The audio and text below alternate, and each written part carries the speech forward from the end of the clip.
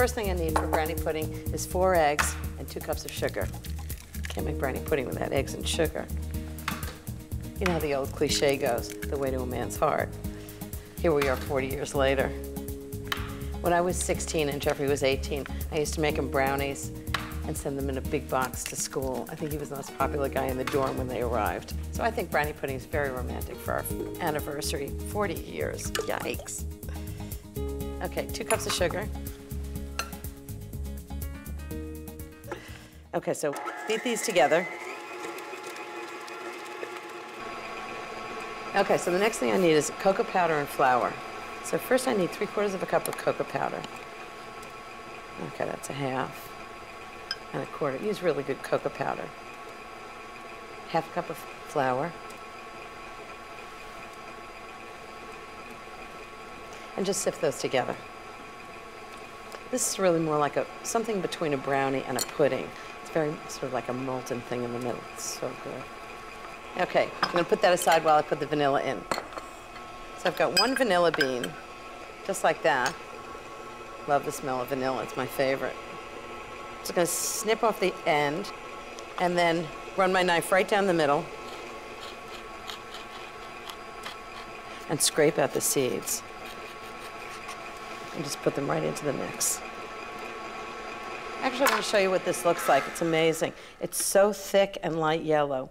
And when it comes off the beater in a ribbon, it's just like that.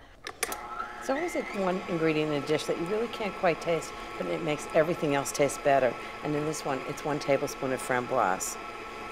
It's raspberry liqueur. I'm just gonna put it on very low speed and just slowly add the dry ingredients. Don't wanna make any lumps. So the key about baking this brownie pudding is that it's sort of molten in the middle and it's baked on the outside, so everybody gets a little of each. Mm, this smells so delicious. It smells so chocolatey. Fantastic. Okay, the next ingredient is butter.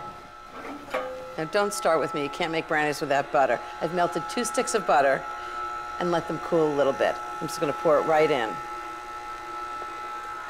Anybody who tries to make brownies without butter should be arrested. And for brownie pudding, it makes it very wet and delicious.